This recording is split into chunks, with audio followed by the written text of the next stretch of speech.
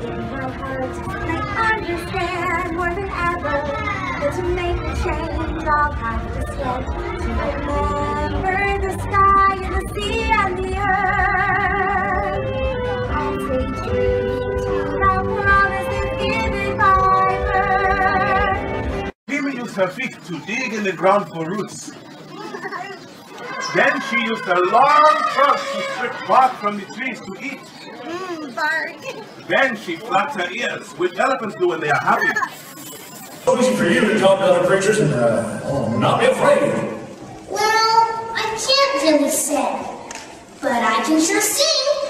I'm not the biggest dinosaur, in fact I'm kind of tiny. I don't have teeth or scary claws, but it doesn't make me whiny. Whenever I meet someone new, I march right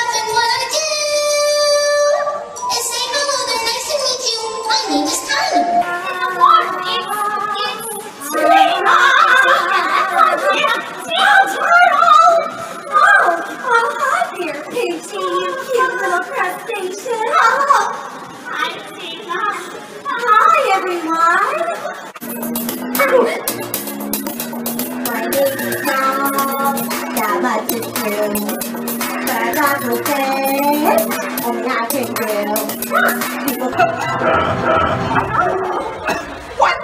that? Are you? Let's see. A gorgeous hair, perfect musical flight interrupted, plastic bag in my mouth, choking me. What do you think? Oh